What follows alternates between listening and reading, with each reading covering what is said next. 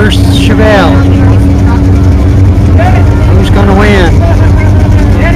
If that was Darren's Volkswagen over there in the other lane, I wouldn't want to bet against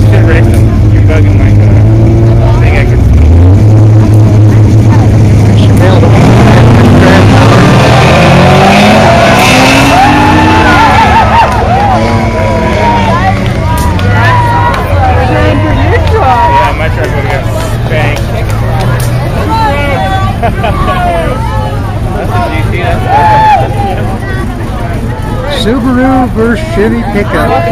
Yeah. All right.